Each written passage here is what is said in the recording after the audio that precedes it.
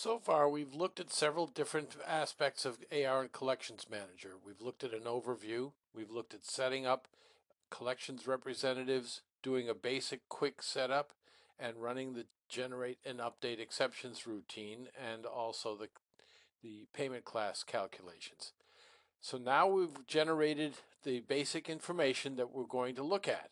So we go to AR and Collections, we're going to look at the exception list in depth. So we open up the exception list.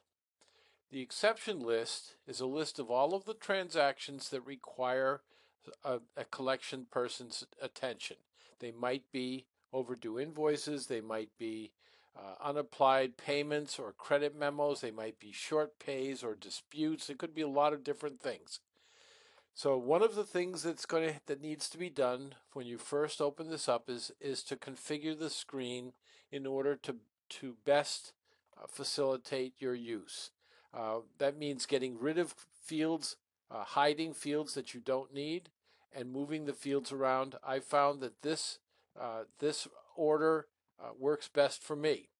So we'll take a look at the various different columns and, and what they what they do. Next contact date is a basic concept of the AR and Collections Manager. Every time a contact is made with a customer, a next contact date, a follow up date, will be set. It may be set for the next day if it, a voicemail was left, or it may be set sometime uh, in the future.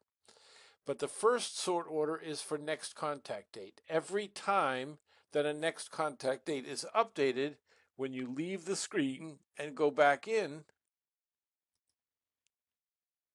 it will recalculate and reorder the next contact date.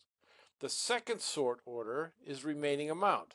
So all of the transactions that are due on 127 will be sorted smallest to largest. And then the next uh, 327, smallest to largest, and so forth. So next contact date is a critical field when creating uh, contact events. The next couple fields identify who the customer is, the customer number and name. This field shows you that there are multiple entries in the exception list for this account.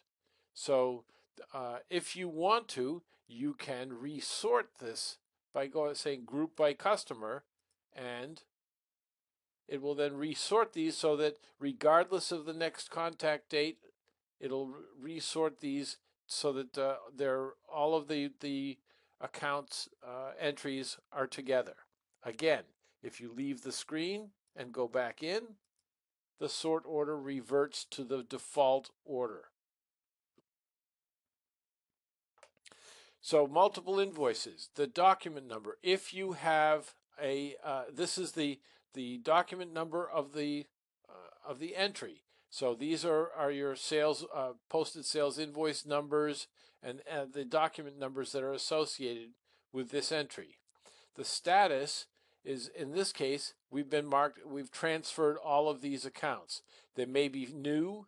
if, if it's appearing for the first time in this list, this will say new.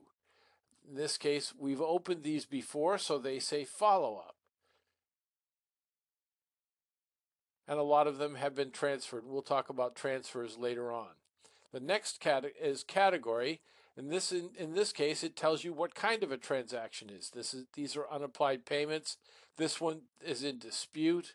This these are overdue invoices. There are several different categories. Extraordinary value invoice we'll talk about later. And there are still uh, several others. There might be small invoices. Uh, the next one is short paid. We've added some code to Business Central that every time an invoice amount, a, a payment has been recorded for an for an invoice that is less than the full amount, then uh, it will instantly be added to this list and it will be flagged as having been paid short. Any one of these can be resorted by clicking on the column and you can then see we have two here that have been paid short. We'll talk about we'll do a whole uh, video on uh, on dealing with short pays.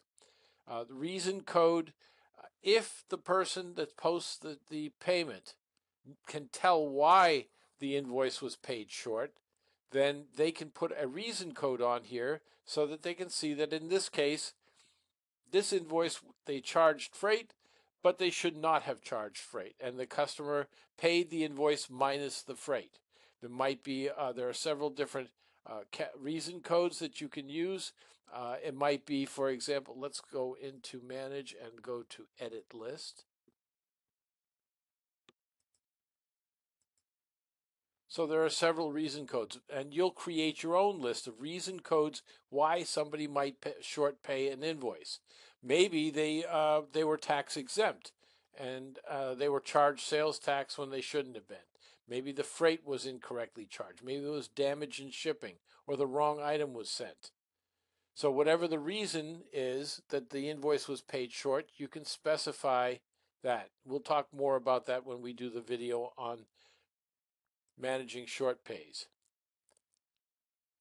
These three fields go together short pay, reason code, and write off. We'll deal with them later.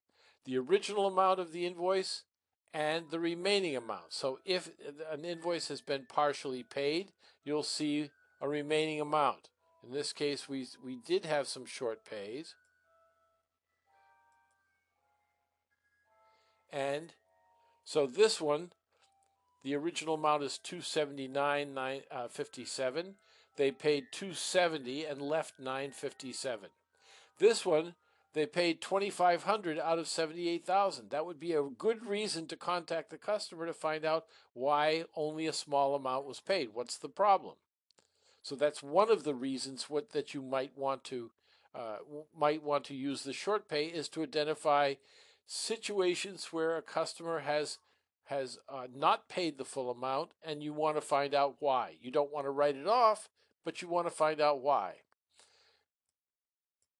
Days late. Every day when this is run, this field will be updated.